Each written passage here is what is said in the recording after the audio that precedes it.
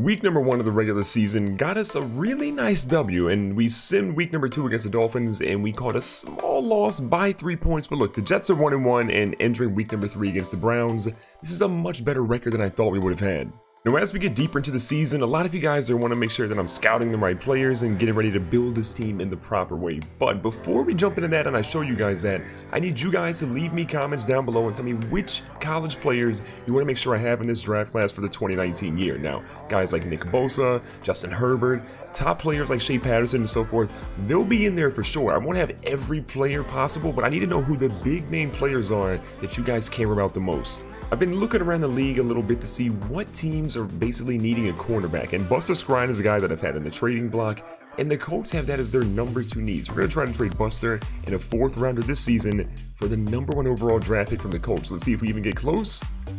We're closer than I thought we were going to be. So to sweeten the pot, I'm going to throw in another fourth rounder, but this one is in 2020. Let's see if that actually gets us the pick. And we got the trade to go through, so we now are the proud owner of two first round draft picks in 2019. Now, before you guys kill me, I had a backup plan. We traded Buster, but Bashad Breeland is available for us. Only 26 years of age, 76 overall, so a little bit lower, but he's got good man coverage and zone coverage. He'll be a fine guy to place in our roster. So we're going to try to sign him, looks like to a one-year deal here. And of course, the young fella is going to accept. It's no secret that this team is struggling at the tight end position, and I want to try to get a little bit of a trickeration there. So we're going to move Terrell Pryor from wide receiver to tight end. A couple of you guys suggested this in the comments down below. We're going to change his number, move him to tight end, try him out there for a few games, and see what the veteran can do for us there. And lastly, before the game, we have a couple of contracts to negotiate. So I think Robbie Anderson, we for sure want to keep here long term. He's only 25 years of age, so I want to try to lock him in here. He's saying four years, $6.4 million, and a $3.36 million signing bonus. Should make him pretty happy. See if we can sign him. That's a good offer. I'm glad we got the deal done. And as for Jermaine Kearse, we're going to try to shop him over the next few weeks. If we can get him to basically bite on any deals, we'll try to sign him and trade him in the offseason. But for now, we'll let him waver around right here. We're heading to FirstEnergy Stadium today to face the Cleveland Browns, who, crazy enough, this season got their first win since December of 2016. But look, this squad is ready to go. The Jets are retooling a few different pieces here and there. They're getting better. The offensive line is still trash. We're trying out Terrell Pryor at tight end today. We're going to see if he can block. We know he can catch. We know he can run. But can he block? And if he can become a dynamic piece of this offense, Sam Darnold might just throw more touchdowns than interceptions for the first time this season. Now we're going to kick off this first drive, giving Joe Mixon a couple of touches because the young fella, he's going to be an integral part of our team, obviously, this season. And if we want Sam Darnold to be successful, that run game has got to be good. After a short run there by Mixon, we're going to do a halfback screen here on second and seven. Looks like it's working pretty well. Mixon gets a couple of yards there, but he still doesn't get a ton, and they drop him after two. So third down and a couple of yards here. Can we get the first down and keep this drive alive, or are we going to be on the struggle bus today here in Cleveland? Darnold's going to drop back. He's got a guy across the middle. He throws it quickly, and Anderson is going to hold on to it for the first. Now, in the last play, our right tackle got abused, and Myles Garrett got himself a sack. So we're going to be struggling a little bit with that pass protection. Got an opportunity here. We're going to throw in deep. Darnold's going to test his arm a little bit. He's got Robbie Anderson, and Robbie Anderson goes for the one-handed grab and can't haul it in. So third down and 17. A lot more difficult than the last third down that we ended up facing. Let's see what Darnold can do here. Now Maclin on this slide going across the middle of the field. Pressure's there. He's going to throw it. He's got him open. Maclin gets hit, and he holds on to it. Dropped at the 41. While Darnold has been shaky at some parts of the season so far, he's actually looking not like a rookie on this drive. I'm pretty happy with his performance.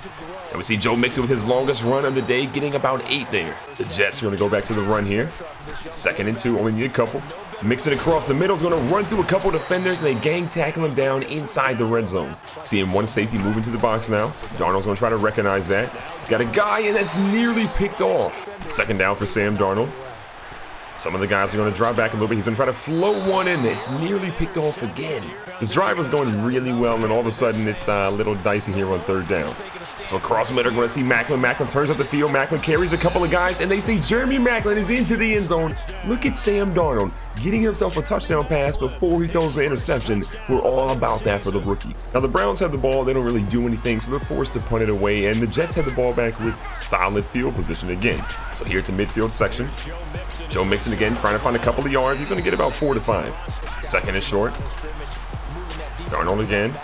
all the time in the world, feeling a little bit of pressure. Myles Garrett nearly gets him, we're going to see Sam Darnold use his legs to get about seven or eight. Well, we have a lot of things to kind of fill the holes on for this team. The biggest thing is the offensive line. I mean, we get Richie Incognito, who's been solid for us, but on the edges, on the right tackle spot, left tackle spot, there's a lot of work to be done. Second and eight, Darnold in the center.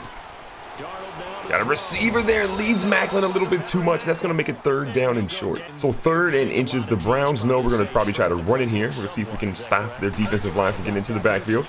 Mixon makes a nice little run here. He's going to carry a defender and gets, again, nothing crazy, but four yards. First down now again. Darnold back here in the backfield.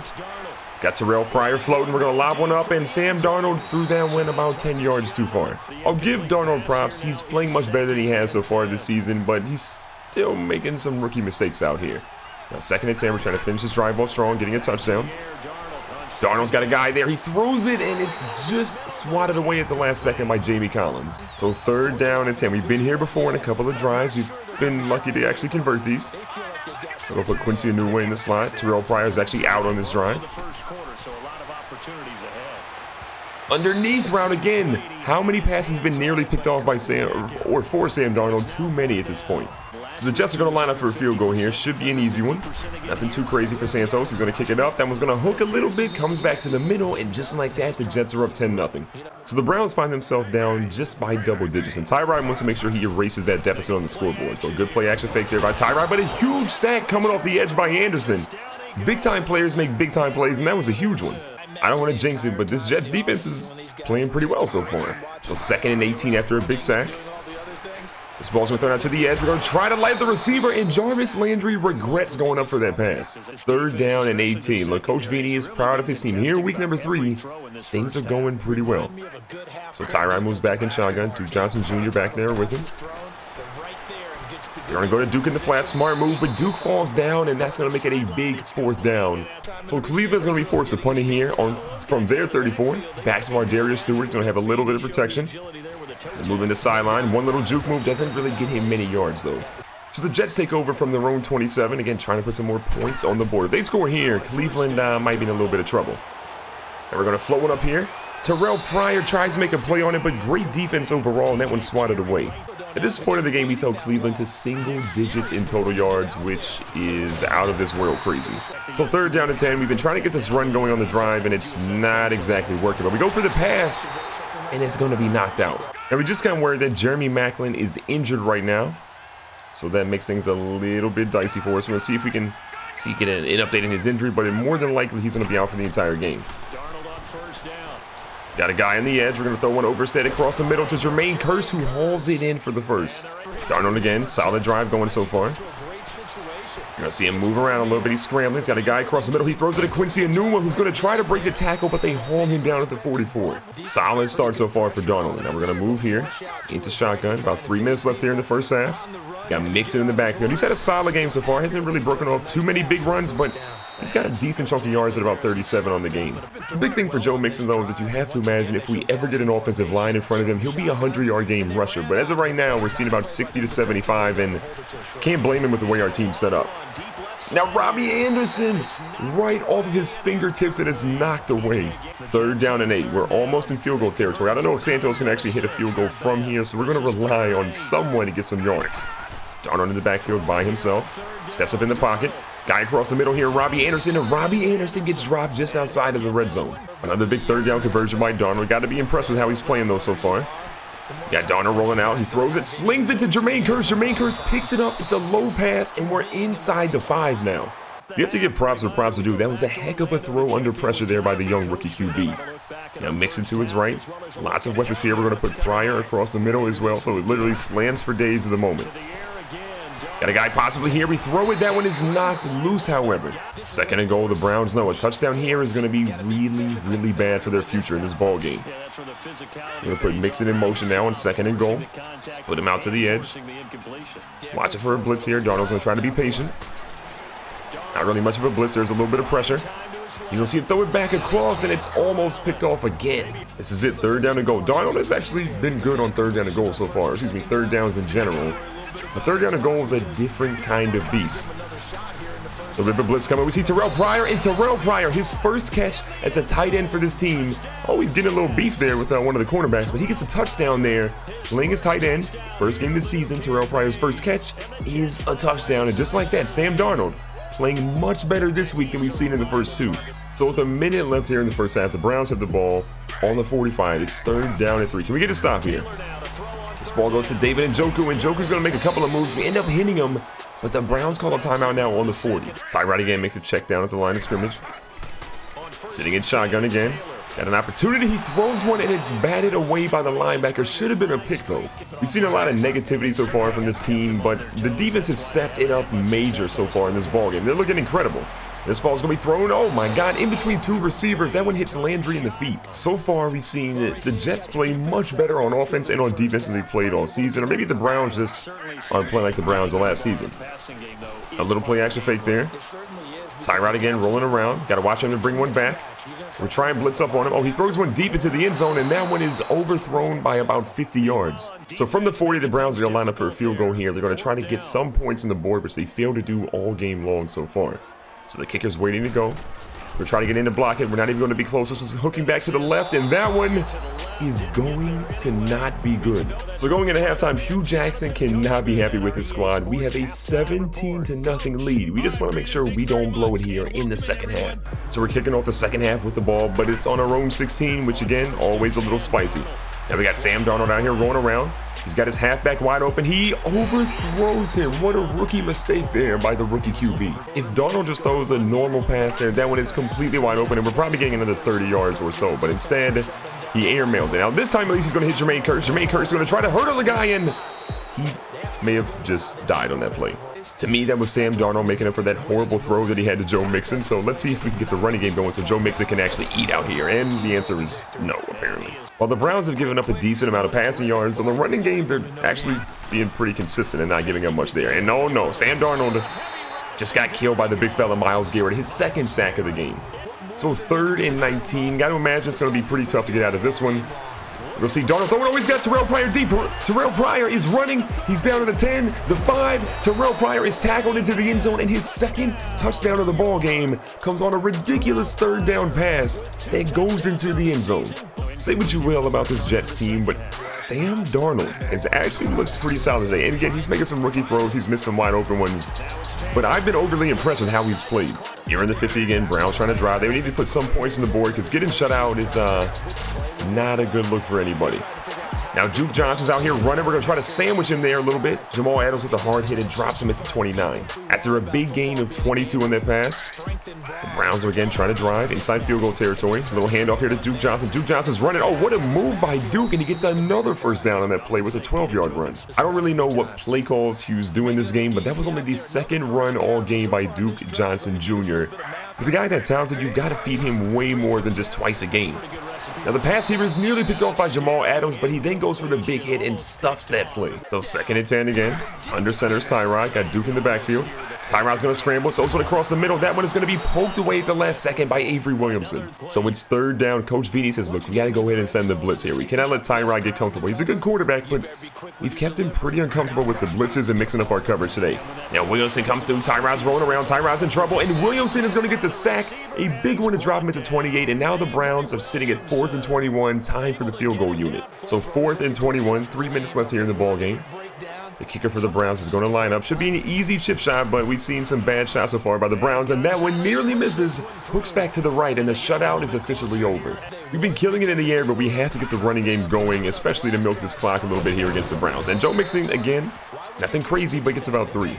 Now, it looks like Joe Mixon may have got banged up a little bit there. We're seeing McGuire come in the game, but no idea the extent of the injury for Joe Mixon. And look at McGuire. On one carry, he gets about half of what Joe Mixon did in the first half. Now, we just got horrible news that Joe Mixon is now out of the game with a broken collarbone, which means that we won't see him for a long time. So we're going to have to adjust to that, see how we can do. Sam Darnold under pressure throws a dot in the field to Jermaine Kearse. Jermaine Kearse is going to fight his way out of bounds at the 21, and Darnold almost 300 passing yards today. Even though our running game has been absolutely abysmal, the passing game has actually looked good for Sam Darnold. No turnovers, three touchdowns, nearly 300 yards. I'm impressed by what he's done. And Thomas Rawls got impressed by that hit there from the safety. Good lord. As much as I thought we might have an offensive line issue, Thomas Rawls and McGuire have shown me that maybe it's actually a running back issue. Third down and three from the 14. We're in striking territory. Can we get in here to get a touchdown, however? So Darnold goes from under center.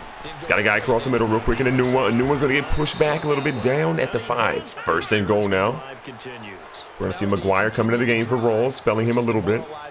Sam Darnold in shotgun, takes the handoff, pushes that one up to McGuire, who gets flattened at the goal. Darnold is trying to get his fourth passing touchdown of the game. This would be remarkable by all stretch. And he throws one to Jermaine Kearse, who's going to get it to the end zone. He's hit late. Should have been a penalty in my opinion, but four passing touchdowns. Darnold has absolutely struggled with his accuracy all game long, but you got to give the dude credit. Four touchdowns in one game for a rookie.